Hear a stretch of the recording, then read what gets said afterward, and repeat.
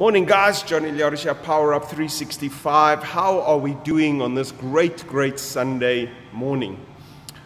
I do these Power Up 365s on Sundays, and um, I think one of the most important things you've got to do on Sunday is grateful.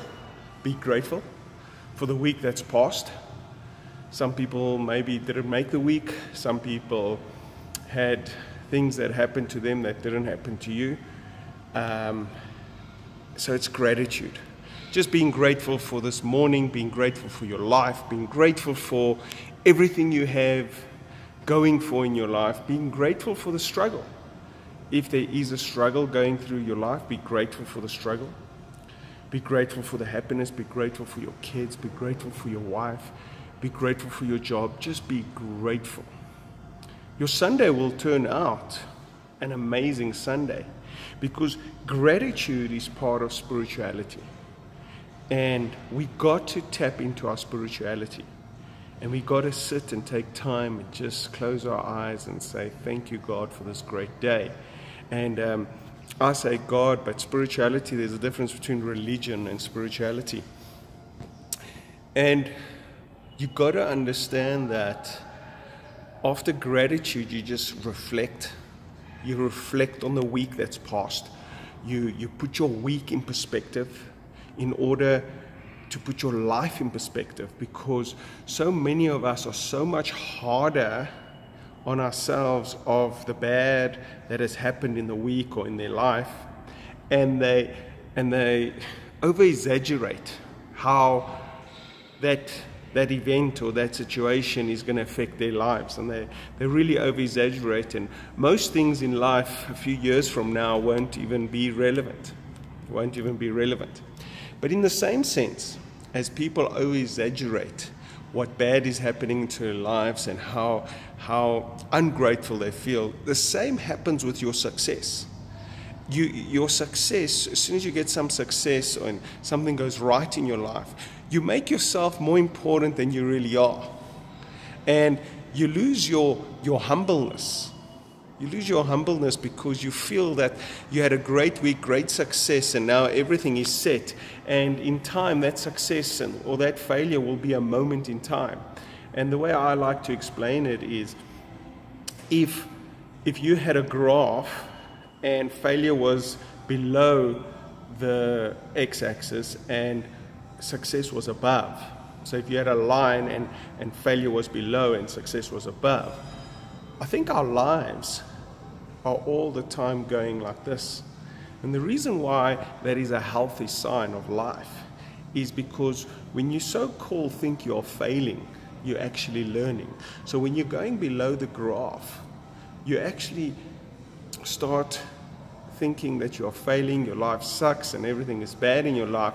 Meanwhile, you have to go there. It's just part of life. You have to go there in order to get up. I think the best example that God ever gave us on that is who of you have ever just started walking? Has any of you just started walking? You just got up and you just started walking? It doesn't work that way. You fell, you fell, you got up, you fell, you got up, you fell, you got up. You were persistent. You kept on being consistent. You had, you had a clear goal that you were going to walk. That's why most people in the world walk. So it's just how life is. So if you if you make your life about your failures and about your success, that due to the fact that I had a success, I'm important then you lose your whole perspective on life and you make yourself more important than you really are. And when you have a failure, then you, you hurt yourself because you make that failure so important. And none of that is really important. What's important is the x axis. That is, I am that I am. I am successful. I'm great. I'm perfect. I'm beautiful.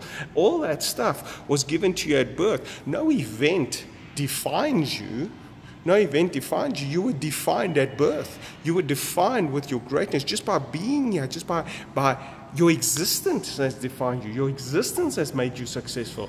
Your ability has made you successful. The, the purpose and the gifts that you were given at birth makes you successful.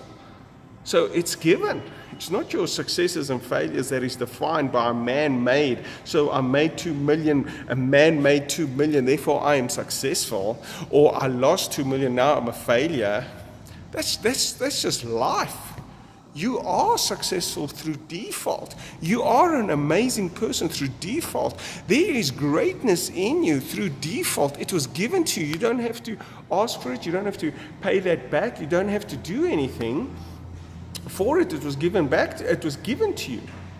I think if there was something that you are meant to do, and maybe we can call that paying back, is one thing live your purpose. That's all you got to do is live your purpose because in your purpose, in the design of your purpose, in the design of who you are, is service and contribution to the world. And that's why you are here to serve and contribute to the world. So if you focus on your failures and successes and you think that defines you, it doesn't define you. It's just your life, it's just your journey, it's just how you got up to there. That's all it is.